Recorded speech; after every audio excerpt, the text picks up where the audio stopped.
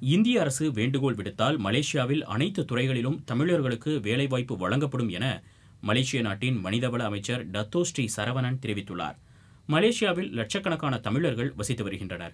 தமிழகத்தில் பல்வேறு மாவட்டங்களில் இருந்து தொழிலாளர்களாக மலேசியாவில் பலர் பணிபுரிந்து வருகின்றனர். இந்த நிலையில் ராமநாதபுரத்தில் நிகழ்ச்சி ஒன்றில் பங்கேற்ற மலேசிய அமைச்சர் டத்தோ ஸ்ரீ சரவணன் செய்தியாளர்களை சந்தித்து பேசினார். அடுத்த பத்து ஆண்டுகளில் உலகம் பல்வேறு மாற்றங்களை காண இருக்கிறது. இதனை எதிர்கொள்ள தமிழ்ச் சமூகம் தங்களை தயார்படுத்திக் கொள்ள வேண்டும் என்றார். மலேசியாவில் உணவு மற்றும் மின்துறைகளில் மட்டுமே தமிழர்கள் பணியாற்றி வரும் நிலையில் இந்திய அரசு வேண்டுகோள் விடுத்தால் அனைத்து துறைகளிலும் வேலைவாய்ப்பு கிடைக்கும் என கூறினார்.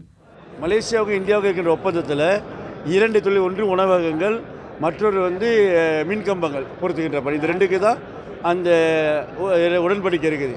அதை வந்து விரிவுபடுத்துவதற்கு இந்தியா சார்பில் வேண்டுகோள் வைக்கப்படணும். மற்ற துறைகளும் நாங்கள் வந்து பணிபுரிவதற்கு வாய்ப்புகளை கொடுங்க அப்படின்னு இந்தியர்களுக்கு மட்டுமே அப்படி இருக்கா சார்? மற்ற நாடுகளுக்கு? இல்லை இந்தியர்களுக்கு மட்டும்தான் மற்ற நாடுகள் எல்லா இப்போ குறிப்பாக நீங்கள் பார்த்தீங்கன்னா வங்காளதேசிகள்லாம் பார்த்தீங்கன்னா எல்லா துறைகளிலும் அவங்க பணிபுரிகிறாங்க தமிழ்நாட்டிலிருந்து மலேசியாவில் வேலைக்கு வரும் தமிழர்களுக்கு உதவுவதற்காக மலேசியாவில் புதிய செயலி ஒன்று அறிமுகப்படுத்தப்பட்டுள்ளது. தொழிலாளர்களுக்கு எதிரான எந்த பிரச்சனை ஏற்பட்டாலும் புகார் தெரிவிக்க இந்த செயலியை தொழிலாளர்கள் பயன்படுத்த வேண்டும்.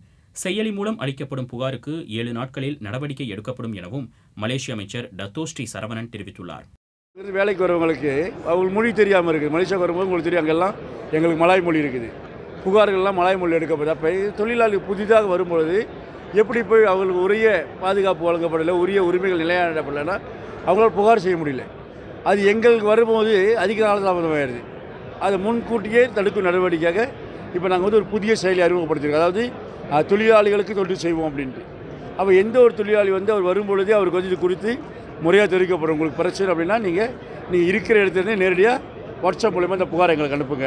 அப்படின்னதுக்கப்புறம் உடனடியாக ஏழு நாட்களுக்கு நடவடிக்கை எடுக்கக்கூடிய இதன் வாயிலாக நிறைய தொழிலாளர்கள் இப்போ அண்மையில் காப்பாற்றப்பட்டிருக்கிறாங்க.